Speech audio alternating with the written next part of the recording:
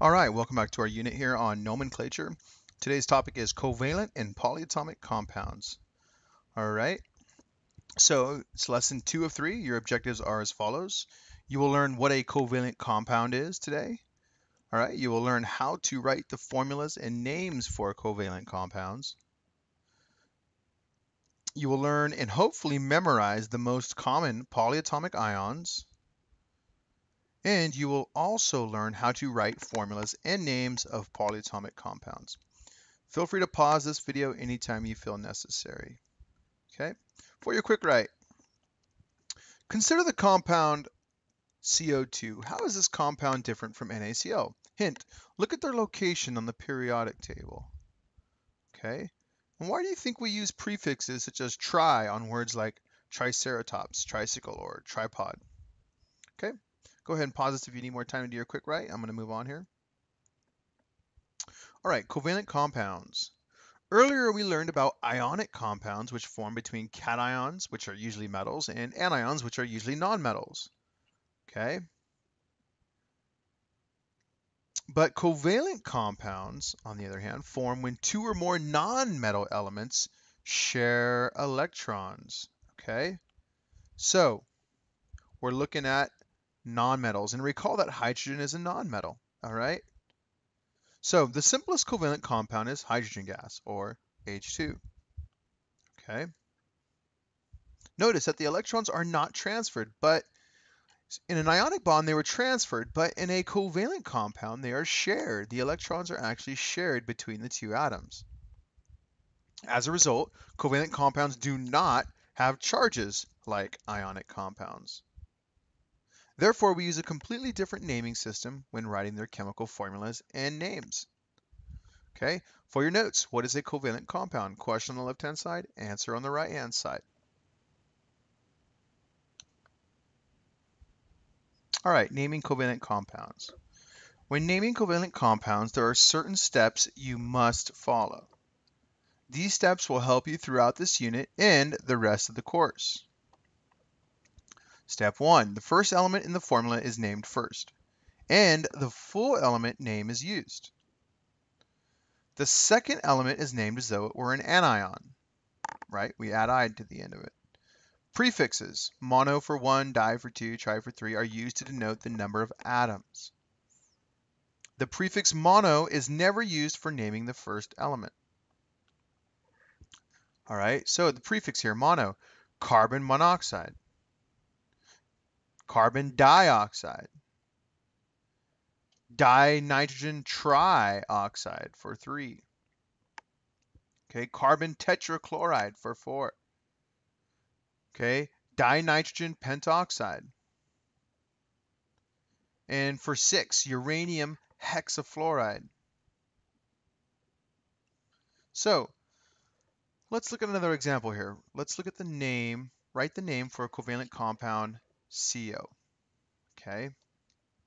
The first element in the name of the formula is named first, and the full element name is used. For example, we just say carbon for carbon monoxide. Pretty easy. The second element is named as though it were an anion. For example, okay, the oxygen in CO here is oxide. We put "-ide" on the end of it. Then prefixes are used to denote the number of atoms. Since there is one oxygen atom, we would use the prefix mono for carbon monoxide. The prefix mono is never used for naming the first element. For example, CO here is called carbon monoxide, not monocarbon monoxide. Okay? So, let's try a different one here. Write the name for the covalent compound SO3, sulfur trioxide. The first element in the formula is named first, and the full element name is used. For example, we just say sulfur for sulfur trioxide. The second element is named as though as if it were an anion. For example, the oxygen in SO3 here is oxide. So we just put "-ide" on it, okay? Then prefixes are used to denote the number of atoms. So since there are three oxygen atoms, we would use the prefix tri for trioxide. The prefix mono is never used for naming the first element. Okay, SO3 is called sulfur trioxide, not monosulfur trioxide. All right, last one. So write the name for the covalent compound N2O5. Okay, so the first element in the formula is named first, and the full element is named used. So we just say nitrogen for dinitrogen pentaoxide. Okay. The second element is named as though it were an anion. So once again, we just put "ide" on the oxide here.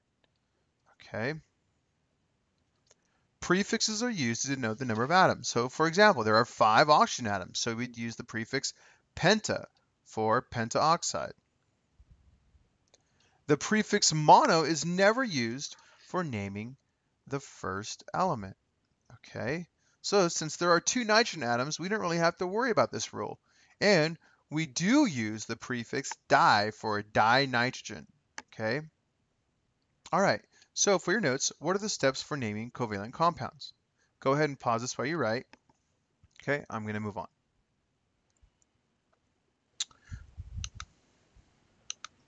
All right, practice. Go ahead and write the names for the following compounds below, okay? When you're ready to see the answers, okay, hit play.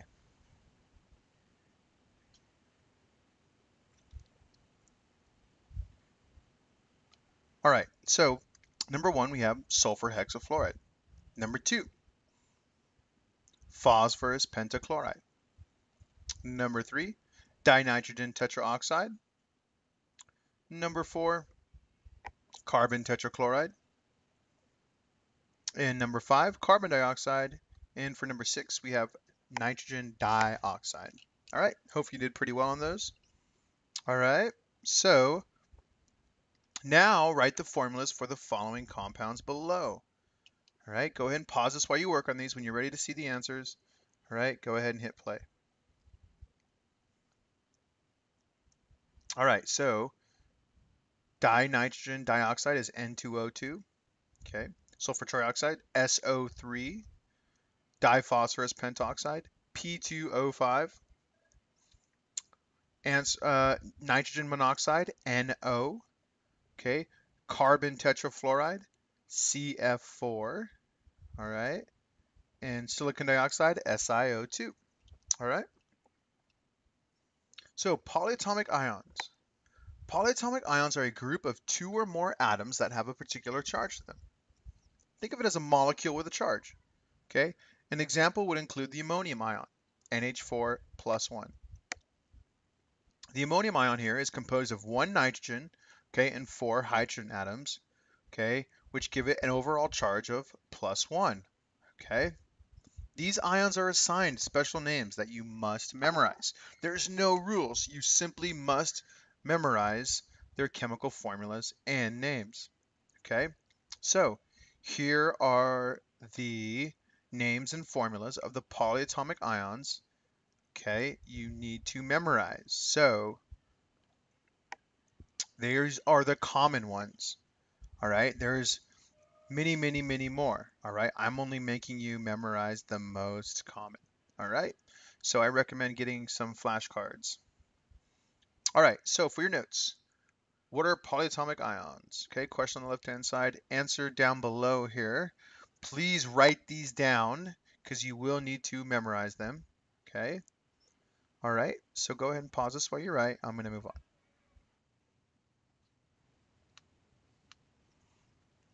Okay, so practice. Write the formula in charge for each polyatomic ion below. Okay. So go ahead and pause this while you work on these. Okay, hit play when you're ready to see the answers. Okay, so hydroxide, OH minus 1. For nitrate, okay, it's NO3 with a minus 1 charge. And phosphate, okay, PO4 with a minus 3 charge. And sulfate, okay, SO4 with a minus 2 charge. Okay, so ionic compounds with polyatomic ions. So naming ionic compounds that contain polyatomic ions is very similar to naming ionic compounds. For example, the compound NaOH contains the cation sodium plus 1 in the polyatomic ion hydroxide, OH minus 1.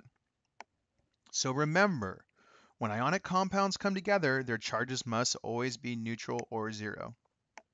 Just like ionic compounds, we write the cation first and the anion second, giving us the compound sodium hydroxide, NaOH. Cation first, anion second. Okay, so let us look at the compound ammonium nitrate, a very explosive chemical here. Okay, ammonium nitrate is made up of two polyatomic ions. Ammonium here, NH4 plus 1, and nitrate, NO3 minus 1. When two polyatomic ions come together, a neutral compound must form between them. All right, so notice the cation, once again, is named first, and the anion second. Okay, and it's neutral because that plus one charge is balanced by the minus one charge. Okay. All right. Consider silver 1 nitrate. The silver plus 1 cation comes first, and the polyatomic anion nitrate NO3 minus 1 comes second. Okay. Just like in ionic compounds, the charges need to be neutral. Okay, very important. So, the silver cation, Ag plus 1, okay, is balanced by the negatively charged polyatomic ion NO3 minus 1. So the charges are balanced, plus 1, minus 1. It is important to realize that silver here is a transition metal. It takes on multiple charges. Therefore, we still use Roman numerals to illustrate charge. Okay, so we write silver 1, Roman numeral 1, to show the charge, nitrate. Okay. Consider one more compound, magnesium hydroxide. The magnesium plus 2 cation comes first, and the negative polyatomic okay, hydroxide anion comes second. Just like in ionic compounds, the charges need to be neutral. Okay, so magnesium plus 2 needs to be balanced by two negatively charged polyatomic ions, OH with a minus 1 charge. So we need two of these guys to balance out that plus 2 charge. All right. So in the case of magnesium hydroxide, when more than one polyatomic ion exists, we put parentheses around them. So notice there's two hydroxides here. So we need to put parentheses around them. By putting parentheses around the hydroxide ion here in a subscript of 2, this tells us we have two oxygen atoms and two hydrogen atoms. Okay, so for your notes, what are ionic compounds with polyatomic ions? Question on the left-hand side, answer on the right-hand side. Go ahead and pause this while you write. I'm going to move on. Okay, so practice. Okay, write the names for the following compounds below. While you work on these problems, hit pause and hit play when you're ready to see the answers. Okay, first one, sodium hydroxide. Number two, barium hydroxide. Number three, ammonium chloride. Number four, silver 1 nitrate.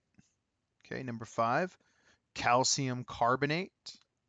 All right, and number six, magnesium nitrate.